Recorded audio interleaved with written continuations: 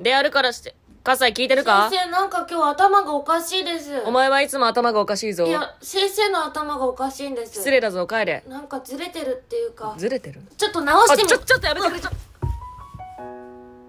葛西、今すぐ戻してくれ、頼む。みんな、授業に戻るぞ。はいおう、葛いい西。国作ろう鎌倉幕府今は理科の授業だ。植物について学んでいただろう。先どうした生あ葛西？の外に生えてる木って何の木なんですか？カツラの木だ。すごいな、葛西。これが太鼓の達人だったら何コンボか言ってるぞ。先生の歯って白くて綺麗ですよ差し歯だ。